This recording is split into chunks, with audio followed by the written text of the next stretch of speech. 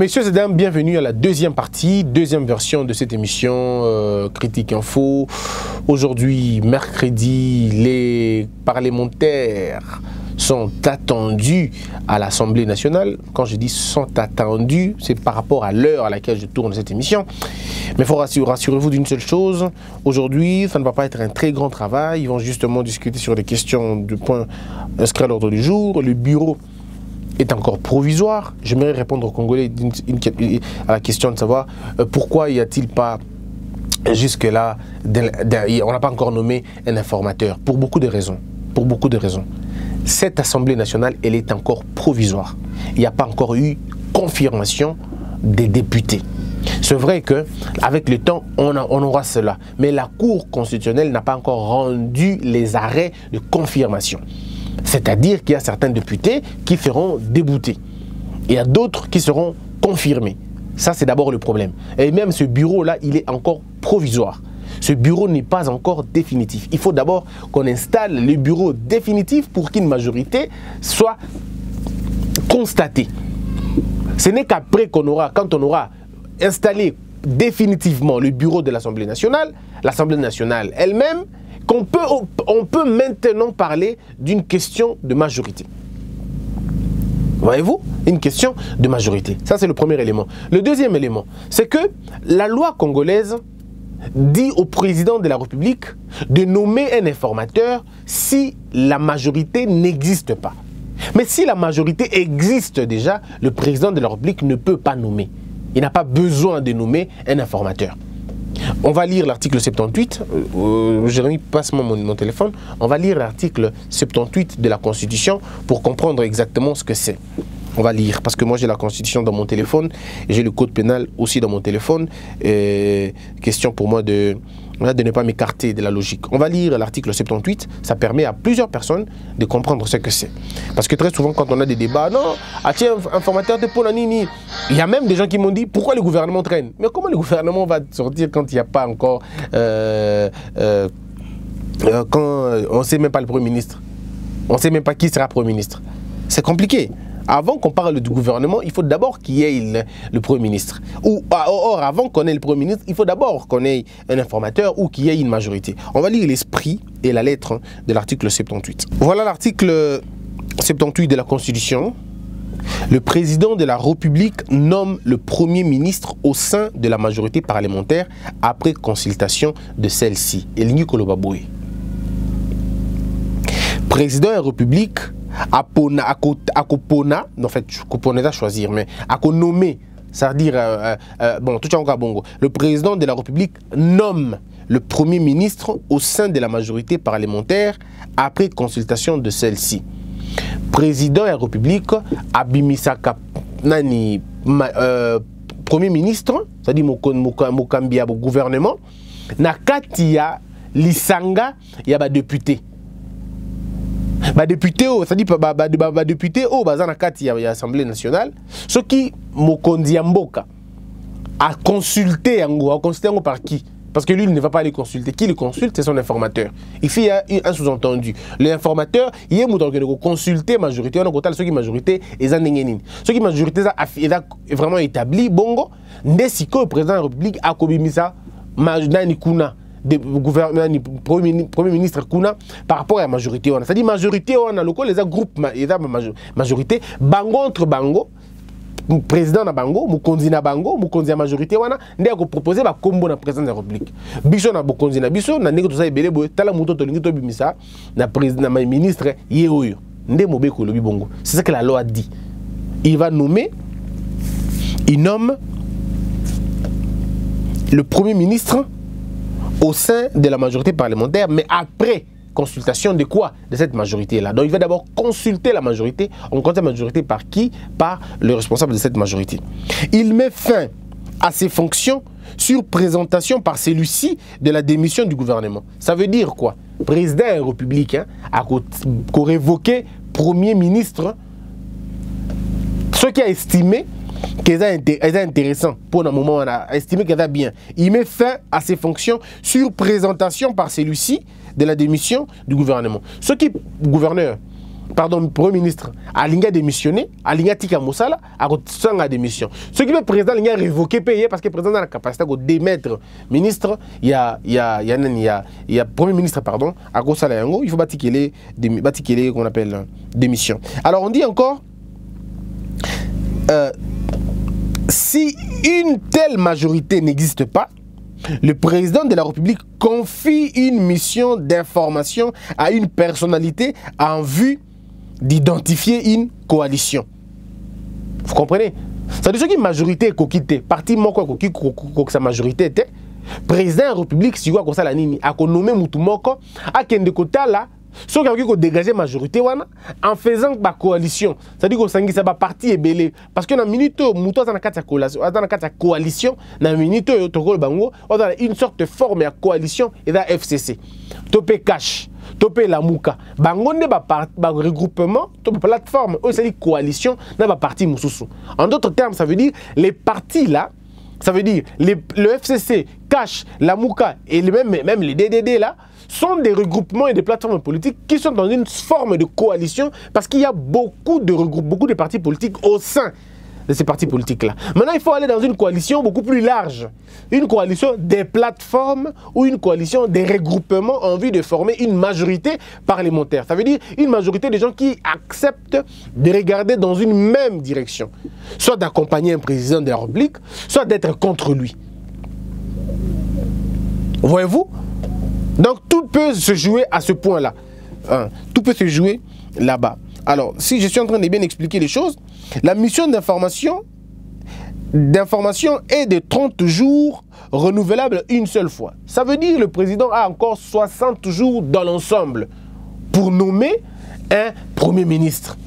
Il a encore 60 jours. 30 jours qui peut renouveler une fois le président de la République nomme les autres membres du gouvernement et met fin à leurs fonctions sur proposition du Premier ministre. Et là, il y a article 178. Donc, on n'a pas besoin d'avoir peur sur la question. Il y a, euh, est-ce qu'il y a la majorité toté il a la possibilité d'avoir une majorité présidentielle, pardon, parlementaire. Félix Tshisekedi a la possibilité de se faire, de se créer une majorité parlementaire. Il en a la capacité. C'est question de savoir où taper, où frapper et comment, euh, appelle, euh, je vais dire, hein, comment euh, négocier le jeu et surtout comment exploiter les conflits. Alors, donc c'est un peu cela. Il y a un élément encore, Bongongo, un poison, c'est Impact News qui le dit. Bongongo, un poison dans les verres de Tshisekedi. Prendre seulement cela. Mesdames et messieurs, laissez-moi vous dire un élément important ici. Notre administration est malade. Notre administration est malade. Malade de quoi? Malade de son fonctionnement. Nous avons au Congo des agents de l'État qui ne sont pas payés. Alors qu'ils travaillent, ça fait 10 ans. Alors qu'ils travaillent, ça fait 15 ans. Il y en a qui travaillent, ça fait 10 mois, ça fait 20 mois. Ils ne sont jamais payés. Il y a même qui travaillent, ils sont journaliers depuis 8 mois. Ils sont toujours journaliers. Il y a des gens qui ne gagnent, qui ne touchent pas leur argent. Ils n'ont pas de matricules. Ils n'ont jamais été engagés. Ils travaillent, c'est-à-dire en, en, violation de toutes les lois de la République. Jusqu'au point de loi morale. Mais vous avez quand même la fonction publique qui est dirigée par des ministres. De façon claire, hein, quand on est ministre de l'élevage, c'est pour que le Congo progresse en élevage quand on est ministre de pêche, hein, c'est pour que la pêche s'industrialise. Quand on est ministre d'agriculture, hein, c'est pour que les gens ne meurent pas de faim. C'est pour que notre terre nous soit beaucoup plus euh, euh, clémente et qu'elle nous donne la nourriture, que nous ayons des produits dans nos assiettes. Quand on est ministre de l'Intérieur, c'est pour qu'il y ait la sécurité intérieure. C'est pour que les policiers apprennent à mieux contrôler les gens, protéger les gens et mieux les garder et leurs biens quand on est ministre de la Justice, c'est pour assurer le bon fonctionnement de notre justice. Mais je ne comprends pas. Ces fonctions qui étaient hier des fonctions de travail, aujourd'hui sont des fonctions honorifiques. On est content d'être ministre de l'Intérieur, même quand on ne résout pas les problèmes de son propre secteur. C'est ainsi qu'on a aujourd'hui ces problèmes dans, la, fonction publique. mesdames et messieurs, je ne vous donne qu'un seul cas. Prenons le cas de, de médecins. Hier, Félix Tshisekedi revient du voyage, il rencontre le médecin, le jeune médecin, là-bas, Ce médecin, très fâché, parce qu'ils n'ont pas été payés depuis deux ans. Il y en a même qui n'ont pas été payés, ça fait quatre ans, ça fait cinq ans, ils ne touchent pas des primes. Ils ont leur modique salaire, mais ne touchent pas les primes.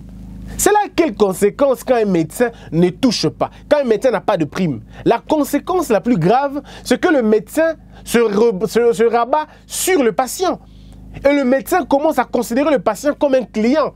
Et ce n'est plus un patient, c'est maintenant un client. Et du coup, le médecin va vouloir trouver toute sa vie là-bas. Aujourd'hui, au Congo, il y a des, je veux dire, des mutilations organisées par les médecins. Même les cambouillas, il y a appendicite, même les cambouillas, il y a césarienne, bah ça dit césarienne. C'est une mutilation inutile. Inutile en tout cas. Nous avons des césariennes ici, des césariennes alimentaires, des césariennes économiques. On le fait que pour l'argent. Il y a des gens qui dorment dans des hôpitaux, pas parce qu'ils sont vraiment malades, mais parce que le médecin a estimé qu'il faut qu'ils dorment là. Au-delà de tout ce que l'on peut dire, au-delà de tout ce que l'on peut dire, mais il y a un gain économique là-bas. Il faut qu'il passe la nuit dans la chambre pour qu'il consomme les lits et que demain il paye 40 dollars, 30 dollars, 50 dollars. Est-ce que vous pouvez imaginer ça? Ça se passe dans les corps des gens aujourd'hui. Il n'y a plus d'entretien dans corps. Non, il y a sous entretien. Et comme il y a affiche 40 000.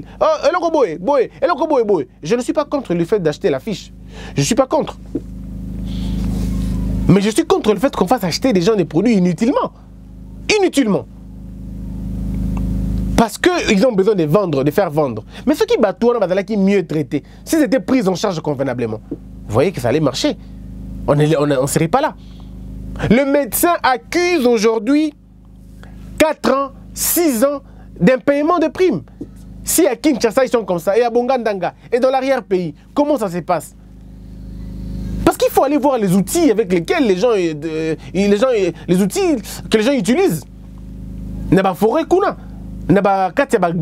Vous, vous allez être étonné. Vous allez être étonné, on ne sait pas si c'est la médecine traditionnelle ou la médecine euh, jumelée.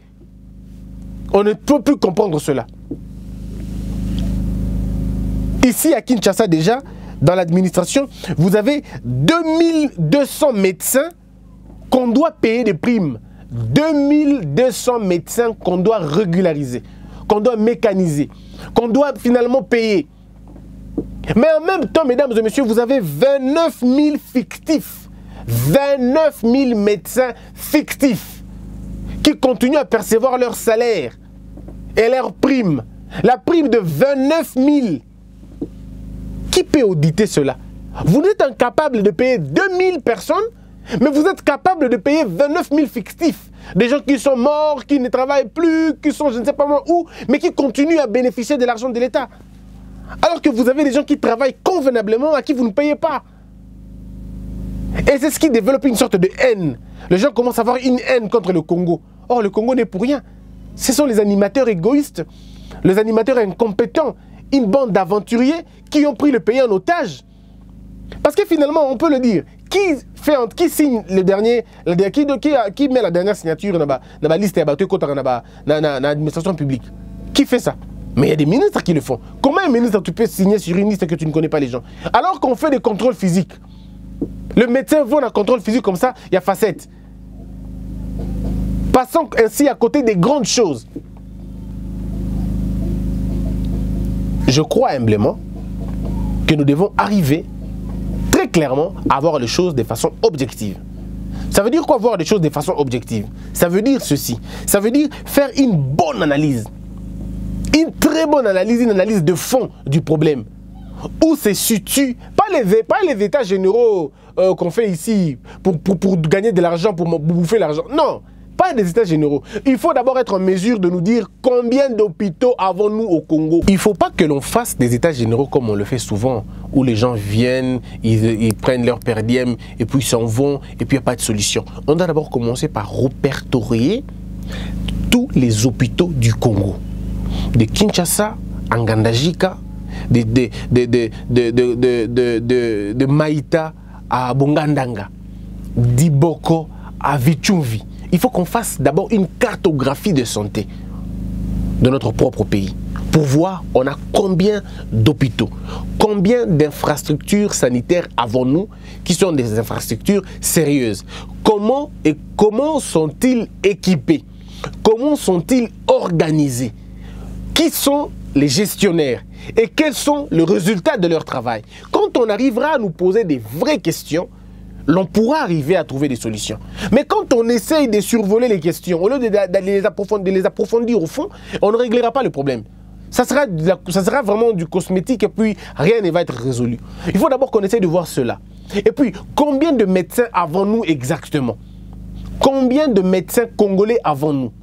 Si on essaie d'avoir d'abord les nombres, et puis maintenant on va aller à l'intérieur pour voir maintenant combien sont actifs et puis quand on verra ceux qui sont actifs, on va voir combien sont valides. Et si on arrive à voir combien sont valides, on essaie aussi de voir combien ont des casiers judiciaires. Voir leur cote discipline, de discipline. Comment sont-ils cotés? Pour qu'on puisse évacuer, retirer la licence aux faux médecins, permettre à ce que le nouveau vienne. Comment pensez-vous que Sabatou Moussala, ceux qui il faut que les gens entrent, que les gens sortent. Mais si vous avez des gens qui ne sortent pas, mais vous ne faites qu'engager, vous vous engagez des chômeurs. Vous engagez des chômeurs parce qu'ils ne peuvent, ils vont travailler où? Vous n'avez pas d'infrastructure, vous n'avez pas d'hôpitaux. Comment, même si vous en avez, même, même si vous avez 10 000, médecins, comment vont-ils faire? Et puis les médecins doivent être reformés de temps en temps, recyclés de temps en temps. Ils doivent participer à des conférences, à des ateliers, à des formations. C'est très important. Mais si vos médecins ne savent pas voyager, parce qu'ils n'ont pas les frais pour voyager, on envoie une invitation. La Belgique peut envoyer une invitation. L'Allemagne peut envoyer une invitation. Mais il faut que le médecin se prenne en charge lui-même. C'est pas sérieux. C'est pas sérieux. Il ne se sert pas lui, il sert l'État. Il faut que nous ayons un fonds qui pourra permettre, un fonds qui permettra la recherche, qui permettra les études, de supporter les études, les recherches de certains médecins. Nous devons arriver à nous poser des vraies questions. Vous ne pouvez pas avoir une médecine forte si vous n'avez pas une pharmacie forte. La pharmacie du Congo, on n'a même pas une pharmacie au Congo. La pharmacie du Congo vient de l'étranger. Vous devez avoir des pharmaciens ici alors que nous avons une faculté ici, la pharmacie, mais qui n'est pas, qui n'a pas un laboratoire sérieux, qui ne sait pas produire des médicaments, qui ne sait pas elle-même comprendre des médicaments. Nous attendons que la Belgique nous donne des médicaments, nous attendons que la France vienne faire des analyses ici, nous attendons que les États-Unis viennent faire ça parce qu'eux, ils sont équipés. Mais nous devons travailler là-bas. Sans la santé, on ne peut rien. Et au-delà de cela, il faut avoir des mesures d'application. Qu'est-ce que les Congolais mangent? Qu'est-ce qu'ils consomment? Au Congo, si vous posez la question au ministre, au ministre de la Santé, dans 20 ans, les Congolais souffriront de quoi? Il ne sait même pas. Il ne sait pas vous dire quelle maladie menace les Congolais dans 20 ans. Quelle maladie menace les Congolais dans 30 ans? Il ne sait pas vous le dire.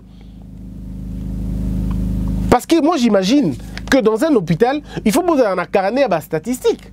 Pour d'abord, il quand même que combien de gens viennent avec une même maladie. Et c'est dû à quoi? Comme ça, l'État peut avoir une idée de combattre une maladie dans sa, dans sa racine, dans sa source. Vous verrez par exemple aux États-Unis, on vous dit 15% euh, d'enfants dans 5 ans seront des obèses. On vous dit l'obésité menace tel type d'enfant. Mais nous, on peut dire quoi aujourd'hui sur nous? On n'a même pas ce contrôle-là. On n'a même pas cet effectif. On n'a pas le contrôle de toutes ces choses. Voyez-vous que c'est compliqué quand même. Voyez-vous combien c'est compliqué? Si nous voulons être sérieux, nous devons commencer déjà déjà au niveau de là-bas. Moi, j'ai été avec un médecin en train de discuter. Je lui pose la question. Comment savez-vous que les gens sont fracturés? Il me dit quand les gens viennent, ils nous disent que Baboukani, le Boko, tout ça, le Rabango, euh, bah, hein, bah, plâtre et tout. Je dis, mais vous ne réussirez jamais à changer le problème.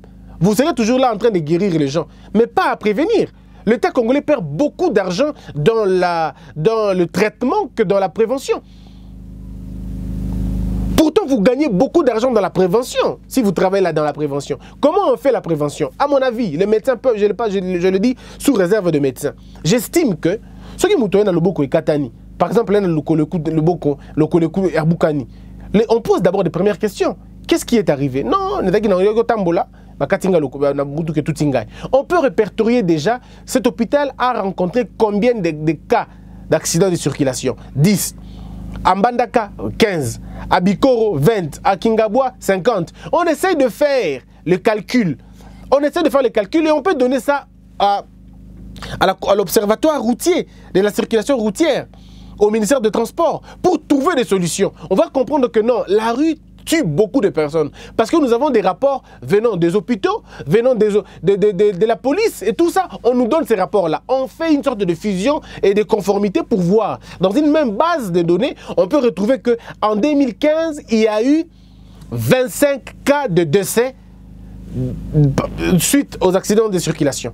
On a eu 25 cas de fractures suite aux accidents de circulation. Vous voyez que là, on vous donne des chiffres et vous savez comment combattre un fléau. Les gens viennent par exemple, je suis fracturé. Pourquoi? On a quoi qui la douche. Vous avez des cas comme ça, plus de 20 dans une journée ou 30 dans une journée. Donc vous, comprenez, vous allez comprendre maintenant que les gens tombent dans la douche. Oh, mais ils tombent pourquoi? Soit il y a un type de carreau qui fait tomber les gens. Ah, si c'est le type de carreau qui fait tomber les gens, on va essayer d'étudier les carreaux là pour voir. Si on réussit à détecter le problème, bah, là, la, la, la télévision nationale dans la campagne de la vulgarisation, on essaie de conseiller aux gens autrement. C'est ce qu'on appelle la pédagogie. On essaie de dire aux Congolais, bon, utilisez les carreaux OYOT pour na douche parce qu'ils ont créé des problèmes, ils ont créé des désordres, ils ont bouka makolo. Bon, ça là, pour carreau, il y a côté. C'est aussi l'information qui manque aux Congolais. En diffusant ces informations, en vulgarisant l'information, les gens entendent. Et si quelqu'un ne tombe pas malade, c'est vous qui avez gagné. C'est vous qui avez gagné, c'est l'État qui a gagné. Parce que l'État doit investir sur l'homme. Mais on n'investit pas sur un homme malade.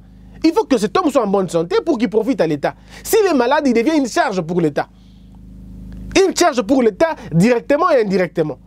Vous comprenez un peu le problème? Donc, on doit arriver d'abord à, à, résolver ces problèmes-là. Mais aussi poser la question, les hôpitaux font entrer combien d'argent dans la caisse de l'État? Parce que l'argent qui rentre dans les hôpitaux ne sont pas, pas, c'est pas pour servir au directeur ou au directeur, au MIP, au médecin inspecteur, tout ça. Non, mais c'est plutôt pour subvention, pardon, réussir dans le fonctionnement de, des hôpitaux et aussi verser une partie dans les trésors. Mais ce n'est pas le cas. Donc je crois qu'il faut commencer à revoir cela. Et tout ça, ça rentre dans une politique de l'administration publique. Une politique sanitaire comprise, définie pour qu'on réussisse. Sinon, c'est compliqué. C'est compliqué. Donc moi, je me dis, est-ce qu'on sait ce qu'on fait? Voilà un peu ce qu'a titré Impact News. Et il y a aussi un autre thème qui est important, c'est le débat sur la vérité des urnes. Et c'est là qu'on va terminer. Forum des As le dit, le débat sur la vérité des urnes est clos, tranche chez Le débat post-électoral sur la vérité des urnes est définitivement clos. Et il dit, à mon avis, c'est déjà la consécration, si pas la légitimation africaine de notre président après les remous qu'on a vécu dernièrement. Mesdames et messieurs, je ne suis pas tout à fait d'accord avec ce propos pas tout à fait d'accord, mais je ne suis pas totalement contre. Le problème, il est à quel niveau? La vérité des urnes, ce n'est pas, ce n'est pas une blague. La vérité des urnes est un questionnement. C'est la question qu'on pose à un peuple. La vérité des urnes, ce n'est pas, une question à prendre à la légère. Non. La vérité des urnes, c'est même le thermomètre de la moralité d'un peuple. Se voir si un peuple peut accepter et cautionner la tricherie. Aussi, elle peut cautionner la légèreté politique. Aussi, elle peut cautionner, je dirais, hein, une sorte d'enfance de la conscience politique de ces dirigeants, de ces politiciens. Je parle ici de, de l'inexpérience, l'inexpérience historique et politique. Je veux dire même traditionnelle qui coule dans les veines de nos politiciens. Regardez comment la question électorale avait été abordée avec toute légèreté. Monsieur Nanga qui pouvait rire, hein, même là où il ne fallait pas. La question des élections a été prise, prise pardon, à la légère, totalement dans une légèreté totale. Et vous avez vu vous-même le résultat. Mais on va aller plus loin maintenant. La vérité des urnes suppose que sommes-nous d'accord avec ce mode des élections? Vaut mieux ne pas faire des élections qui vont amener une, vague d'illégitimation. Et lorsqu'un peuple commence à dire, bon, ça ne sert à rien, c'est très dangereux. C'est très dangereux. Remettre la question sur euh, la table, cela n'est pas un crime. Dire que revenons sur ce qui s'est passé ne veut pas dire M. Félix Tshisekedi remettre la présidence. Non, il est déjà président, on continue avec cette présidence, mais ça n'enlève pas la grande question. Sommes-nous un peuple sérieux? Ou sommes-nous un peuple distrait? La question de la vérité des urnes cache, une je veux dire, cache un grand questionnement d'identité intellectuelle d'un peuple. Un peuple qui n'arrive pas à questionner ses, institutions, un peuple qui n'arrive pas à s'arrêter pour revoir où il va, alors je me pose la question, où allons-nous? D'un côté, on dit qu'il y a eu tricherie. De l'autre côté, on dit qu'il y a eu beaucoup de... Il y a eu simplement de, de la surenchère politique. Mais allons-y, réfléchissons un peu à un moment donné. Réfléchissons, messieurs et dames. Supposons que Félix Tshisekedi avait triché les élections. Ça sera sa faute à lui. Soyons sérieux, c'est pas lui qui a triché les élections. Il serait nommé, comme on l'entend. Ok, on l'a nommé. Très bien. Mes frères, si on l'a nommé, qui l'a nommé? Si vous dites que c'est Kabila qui l'a nommé, alors vous n'avez rien compris. Parce que le problème, ce n'est pas Kabila. J'ai dit encore au Congo, le problème, ce n'est pas Kabila. Le problème, c'est un clan. C'est un mouvement beaucoup plus important que lui. Lui, ce n'était qu'un rôle. Il, n'était n'était qu'un rôle. Il ne joue, pardon, il, n'était qu'un acteur. Il n'était qu'un acteur. Il était un acteur comme Mobutu, comme Kabila le père. Il était un acteur. Et je crains que Félix Tshisekedi soit aussi un autre acteur. Mais tout va se déterminer par rapport à ce qu'il va poser comme acte. Alors lorsque toutes les intelligences tournent autour de la question, c'est Kabila qui l'a nommé. Non mais Kabila n'avait pas le pouvoir de nommer qui que ce soit. Ça c'est méconnaître l'histoire. Nous sommes en face des prédateurs économiques. Nous sommes en face de, gens qui n'ont pas de foi, qui n'ont pas de loi, qui nous déléguent de l'extérieur. Ils sont dans les mines, ils sont dans l'armée, ils sont dans la douane, ils sont partout à travers le Congo. Pas seulement au Congo, ils sont dans le laboratoire belge. Ils sont dans le laboratoire américain. Ce sont des multinationales. Ce sont des gens plus forts que nous, mieux organisés que nous, parce qu'ils ont un seul point commun, c'est l'égoïsme. Ils ont un seul point commun, c'est la destruction. Ils ont une seule ambition, c'est la destruction de ce peuple. Mais nous, parce que nous ne savons pas lire l'histoire, nous nous focalisons à un homme en disant que c'est lui, Kabila, c'est Kabila, c'est Kabila. Maintenant qu'il n'est plus, on est dépossédé, on ne sait plus quoi dire. Je reviens encore pour dire que la question de la vérité des urnes est une question sérieuse. Comment pouvez-vous espérer des bonnes élections dans un climat d'occupation? Moi, je ne comprends pas cette logique. Nous avons deux types de ruptures. Nous avons la rupture dans la continuité et nous avons la continuité dans la rupture. Ça veut dire ceci. La rupture suppose l'arrêt de quelque chose, le changement dans la racine, c'est-à-dire le changement dans la souche de quelque chose, dans la source de quelque chose. C'est ce que ça veut dire rupture. Nous cassons. Continuons. Ça veut dire nous continuons dans quoi? Dans l'élan dans un autre élan, dans un autre objectif, dans une autre manière. Nous continuons avec notre État qui ne va pas changer, mais qui va changer de l'intérieur. Le fonctionnement va changer de l'intérieur. Son économie va devoir changer de l'intérieur par rapport à la qualité de la production. Le système éducatif va changer de l'intérieur par rapport à ce besoin, par rapport à la source qui va être posée dans le patrimoine culturel politique congolais. La diplomatie va changer selon les intérêts du Congo pas les intérêts de particuliers. C'est là qu'on comprend que vous êtes en train de prendre une autre allure. Mais il y a aussi la continuité dans la rupture. Ici, nous parlons d'une petite rupture, une rupture de façade, où nous avons le même système qui continue, mais vous avez un semblant de rupture. Le Congolais devrait en principe comprendre que Monsieur Félix Tshisekedi, je vais le dire comme ça, ou même si c'était Martin Fayoulou, ça, aurait été une chance pour le Congo. Pourquoi? Parce que le Congo allait repartir à zéro. Il faut unir les efforts maintenant pour sauver ce pays qui entre les mains des multinationales. La carte réelle du Congo n'est pas celle que vous voyez. Vous pensez que Pourquoi Béni et pourquoi Bouté n'ont pas participé aux élections? Vous pouvez dire ce que vous voulez, mesdames et messieurs, ça peut être compris comme un processus de balkanisation. Il ne manque que le feu pour que ça éclate de l'autre côté, pour qu'on annexe cette partie de l'autre côté. Et là, ils vont se diviser cela. Ils prendront territoire par territoire et nous, on restera un Congo faible de l'intérieur et on va redessiner la carte d'Afrique. Maintenant qu'il faut comprendre cela. Maintenant qu'il faut analyser le fait, être plus intelligent que l'oppresseur et comprendre ces choses-là. Donc on ne peut pas banaliser cela. On ne peut pas banaliser cela. Moi quand j'entends la vérité des urnes est clos, non, la vérité des urnes ne peut pas être clos comme ça. Vous devez vérifier. Vous devez en fait aller au-delà de ce qu'on attend de vous. Ça veut dire quoi? La, finalité en soi, ce n'était pas que Félix devienne président. Ce n'est pas ça la finalité. Oh, il peut être président de la République. On en a eu déjà quatre, mais qui n'ont pas changé le problème du Congo? Le problème, c'est que nous n'avons pas besoin d'avoir un président caca président, mais on veut avoir un président qui comprend les enjeux de l'heure. Qui comprend les enjeux de l'heure et qui veut travailler pour l'intérêt du Congo. Pas qui va travailler pour l'intérêt de multinationales, pas qui va travailler pour l'intérêt d'une communauté quelconque, mais pour l'intérêt du Congo d'abord. Et pour ça, vous devez interroger votre moralité. Vous devez interroger votre moralité. Le 18, ici, nous allons fêter le 13e anniversaire de notre Constitution. Mais il y a lieu de poser des bonnes questions sur notre Constitution.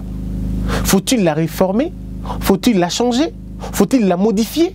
Ce sont des questions qu'on doit poser. Et par rapport à la vérité des urnes, oui, la vérité des urnes maintenant, elle est importante, il faut la connaître.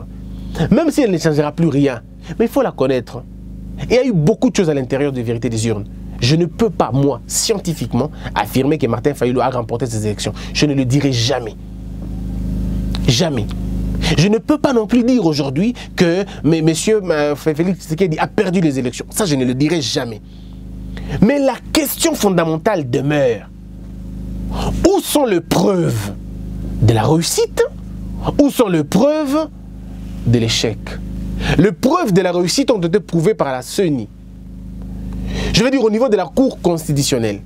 La CENI a prouvé, a donné des éléments au niveau de la Cour constitutionnelle.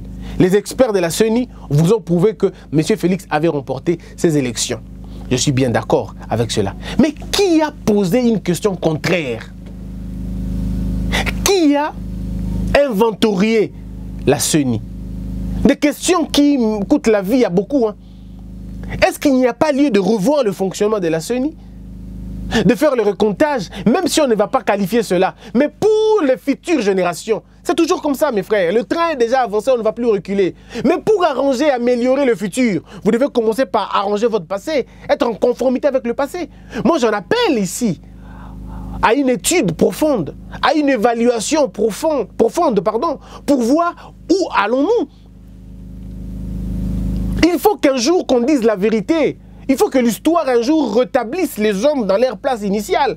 Et on comprendra qui avait véritablement remporté les élections en 2006, qui avait remporté véritablement les élections en 2011 et qui avait véritablement remporté les élections en 2018.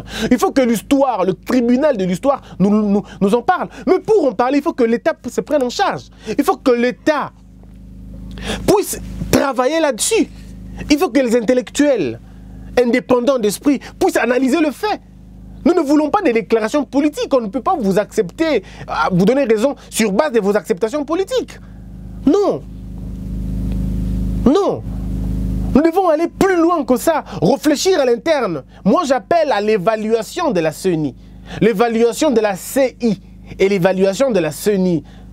Évaluer les trois processus électoraux. Essayer de voir qu'est-ce qui n'a pas marché et sortir une nouvelle CENI qui naîtra des cendres de trois autres euh, processus comme ça.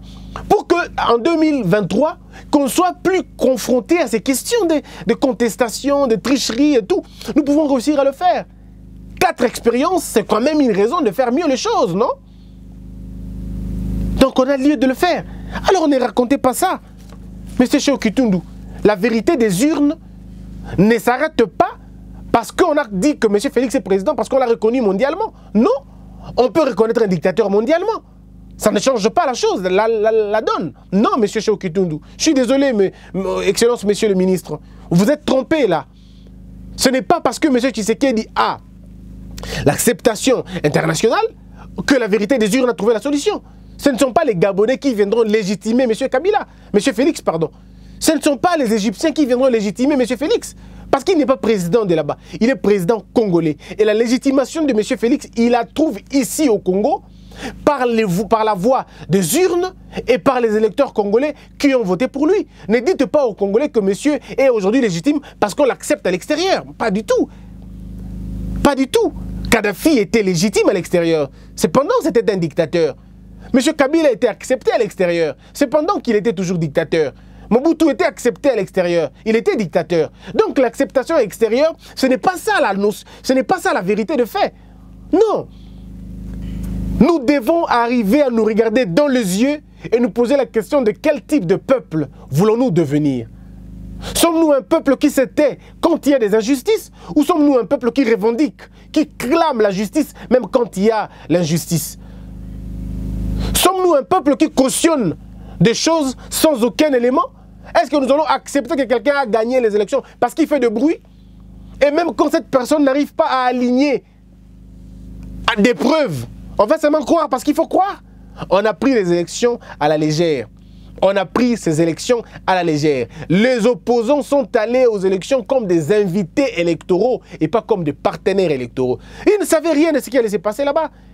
Ils n'avaient pas le contrôle de la machine. Comment voulez-vous aller dans une élection où on vous dit vous n'avez pas le droit de, questionner la partie intelligente de la machine? Est-ce qu'on est sérieux? On vous dit non, la partie hard, vous n'avez pas besoin de contrôler, acceptez ce qu'on vous dit. Oh, mais ça obéit à quel principe? Ça obéit à quel schéma? Hein, Rien. Pourtant, à l'étranger, vous avez des experts électoraux qui ont travaillé dans le département électoral en Auvergne, en Chine, en Suisse, en Allemagne. Ils sont nombreux comme ça, des Congolais qui n'ont même pas changé de nationalité. Hein. Vous avez des Congolais qui travaillent naba, naba, Ça veut dire des ingénieurs, des fous. Ce sont des, intelligences, je dis folles. C'est-à-dire qu'ils sont tellement intelligents qu'ils deviennent fous. Mais appelez ces gens-là. C'est comme ça qu'on devait faire cette opposition. Une opposition intellectuelle qui amène un groupe d'experts qui dit non, ce sont des experts congolais qui n'ont rien à voir avec l'Occident. Ce sont des experts que nous avons nous-mêmes payés des billets qui viennent au Congo, qui viennent questionner l'appareil, euh, la machine à voter en question, qu'on vient démontrer. Pas du tout. C'est soit vous les faites mal, soit vous criez beaucoup, sans vraiment avoir des solutions. Et du coup, Qu'est-ce qui se passe? Les gens se moquent de vous. Messieurs et dames, le Congo est vraiment à la croisée des chemins. La gouvernance de Félix Tshisekedi est une gouvernance des questionnements, est une gouvernance des remises à niveau, est une gouvernance des remises à question, en question. Nous devons nous poser des vraies questions. Quel type de peuple sommes-nous? Sommes Nous sommes quel type de peuple? Sommes-nous un peuple sérieux ou un peuple superficiel? Sommes-nous un peuple qui comprend les enjeux de l'heure ou sommes-nous un peuple qui dort? Sommes-nous un peuple qui cautionne la bêtise ou sommes-nous un peuple qui sanctionne la bêtise? Je crois qu'en répondant à ces questions, ce pays pourra être libéré. Mais tant qu'on ne répondra pas à ces questions, ça va être compliqué. La vérité des urnes, ce débat pourra se raconter des milliers, des milliers, des milliers d'années après. Mais si nous voulons offrir à nos enfants un bel avenir, construisons une société sans tricheurs. La tricherie, ce n'est pas le fait seulement de dire oh, on m'a volé les élections. Non. La tricherie, c'est aussi le fait de ne pas reconnaître qu'on a échoué. C'est aussi ça une tricherie. C'est aussi une tricherie, une forme de tricherie. Vous savez consciencieusement que vous avez échoué, mais vous voulez quand même nous faire passer le temps inutilement. Nous voulons avoir une société des hommes honnêtes, des hommes intègres, des hommes sérieux. L'honnêteté, oui, mais aussi la sérénité. Obama dit à Mitt Romney, avant de tirer, il faut cibler. Avant de vous engager dans un processus, vous devez être sûr que vous l'emporterez. Ou vous devez être sûr que vous serez protégé par les règles. Ou vous devez être sûr que les autres respectent la règle. Acceptez d'aller dans une relation, dans, un processus où vous n'avez aucun, aucune maîtrise de rien du tout, où vous ne savez pas si les autres sont soumis aux mêmes règles que vous, c'est un suicide. Et c'est ce qu'on a vu, un suicide intellectuel, malheureusement malheureusement. Yumbi Boutembo, élection le 31 mars. À cet effet, le président de la centrale électorale a annoncé que les candidats à ce scrutin auront 15 jours pour battre campagne. À Kinshasa, à peine installés, les députés provinciaux parlent déjà des émoluments. les députés provinciaux sont déjà installés, mais ils commencent déjà à demander les émoluments. Nous, on pensait que ça allait être le peuple congolais. Mesdames et messieurs, une question que j'aimerais poser à ceux qui nous suivent. Est-ce que vous avez vu comment on n'est pas sérieux? Les députés, honorables députés, qui continuent à contester la vérité, qui continuent à clamer la vérité des urnes, la vérité des urnes, mais pourquoi ils ne quittent pas l'Assemblée nationale pour poser des vraies questions dehors? Pourquoi ils ne disent pas non, on n'est pas d'accord, nous aussi on nous a voté, on nous, a, aussi on nous a nommés? Comment voulez-vous discréditer un président qui est élu le même jour que vous, des députés, mais vous dites que lui, il a été nommé et c'est vous qui avez été élu? Est-ce que c'est sérieux même? Est-ce que les gens vous prennent au sérieux? Est-ce que les gens vous prennent au sérieux? Vous dites que non, on, a triché, on, l'a nommé. Mais vous, vous êtes élu le même jour, papa. C'est la même bouche qui vous a proclamé. La même bouche qui vous a proclamé. Mais alors, dites-moi, pourquoi Pourquoi? Le même jour, le même papier, le même document, la même signature finale. Fait de vous député, vous, vous êtes nommé, pardon, vous êtes élu, mais l'autre est nommé. Non, non, non. Récomptage, récomptage, récomptage. Mais pourquoi vous ne quittez pas pour parler du récomptage? Vous, êtes en train de distraire le peuple inutilement. Et puis les députés, quand ils sont à l'Assemblée nationale, mes frères, ils ne sont pas des contestateurs. Là, ils ne vont pas en contestation. Là, ils vont en proposition. Je vois comment beaucoup de députés nationaux vont échouer là-bas. Hein. Je vous dis, ils n'ont pas de profil, ils n'ont pas d'éducation, ils n'ont pas de valeur, ils n'ont pas de conscience et ils ne savent pas ce qu'ils vont faire là-bas. Il y a déjà des gens qui vont là-bas, ils ne savent pas ce qu'ils vont faire. Que vont-ils faire là-bas? Parce que là, vous n'allez pas crier. Là, vous n'allez pas insulter les gens. Là, vous n'allez pas dire oh, non, là, ça ne sera pas comme ça. Là, ça va être question d'intelligence, un débat intellectuel. Comment allez-vous vous y prendre si vous êtes habitué à crier, si vous êtes habitué à faire beaucoup de bruit? Comment allez-vous faire là-bas? Être député, mesdames et messieurs, ce n'est pas être contestateur. Être député, c'est quelqu'un qui propose, c'est quelqu'un qui contrôle l'exécutif, c'est quelqu'un qui essaye d'apporter des lois ou de faire respecter les lois qui existent déjà. C'est quelqu'un qui s'abandonne pour le bien, le bien des autres. Et nous allons le voir. Cette législature, nous la tenons entre nos mains. On verra ce, ce qui va arriver. Et pour terminer, il y a M. Bruno Chibala qui attaque M. l'honorable Eliezer en justice, alors que M. Eliezer jouit de deux, en ce moment, il jouit de deux, euh, je vais dire, un double degré de dépendance. Hein. Il est dépendant de la corporation des journalistes, ça veut dire l'INC, l'INCC, c'est ça non? L'INPC. Et puis, il est aussi couvert par les immunités parlementaires. Donc si monsieur euh, veut porter plainte contre lui, il doit cerner d'abord le problème. Il accuse en tant que qui? S'il accuse en tant que journaliste, c'est l'UNPC. S'il accuse en tant que député, c'est au bureau du Parlement qui doit d'abord euh, commencer la procédure de lever des immunités et pour voir ce que ça peut donner. Mais il faut d'abord qu'on arrive à comprendre que quand on est gestionnaire, il faut accepter qu'on vous critique. C'est toujours très important si nous voulons faire très bien le choses. On est fini pour la production d'aujourd'hui, la livraison des journaux. Forum des As, c'était avec nous. Impact News de Joël Cadet, un grand frère. La prospérité de Marcel Ngoï. Et puis euh, Free News de Moutelessi. Et puis voilà, donc ça sera la fin. Moi, je vous dis merci beaucoup. Merci vraiment. On va se retrouver très très prochainement. Des questions, vous devez les poser. Je vous retrouve après. Vous savez, messieurs et dames, laissez-moi vous dire un élément. Vous savez, cette chaise, je suis allé hier l'acheter. En fait, on était allé trouver un plateau pour faire notre mission. Nous arrivons, je rencontre un monsieur, il s'appelle, je vais citer son nom, il s'appelle Apôtre Kadi. Je ne le connaissais pas. Quand j'entre, il me suit, il dit Ah, Christian, c'est Mingi et tout, et tout, et tout. Je lui dis ce que je t'ai venu faire. Il me dit euh, Oh n'habitez quoi N'habitez ça yaka et il nous a donné une chaise. Donc vous voyez qu'on n'a plus la chaise, on va dans on est en train de continuer. Les conditions dans lesquelles nous travaillons, vous n'avez aucune idée. Il y a des gens qui savent seulement critiquer. Ils ne savent pas dans quelles conditions les gens, les gens souffrent. On serait là en train de laisser comme ça et qu'il est bon. Mais quand nous le faisons, c'est parce que nous comptons sur vous. Moi, je ne le fais pas pour autre chose. Je le fais pour vous montrer combien on vous aime et combien nous avons besoin que vous puissiez considérer que le Congo est en danger et que vous devez nous aider à sortir ce pays de là où il est. On ne peut réussir qu'en faisant des conférences, on ne peut réussir qu'en sensibilisant, en vulgarisant le message. D'où voilà pourquoi nous avons l'émission Bongwana. Donc, euh, mesdames et messieurs, merci beaucoup. Continuez à vous abonner à Congo Buzz et aussi à Elite Télévision. Abonnez-vous à Elite Télévision et à Congo Buzz. Ça sera un très grand honneur pour moi, un grand honneur pour vous. Vos numéros, vos messages, vos questions, que Dieu vous bénisse tous. L'amour est en Dieu, Dieu est amour, paix dans le monde.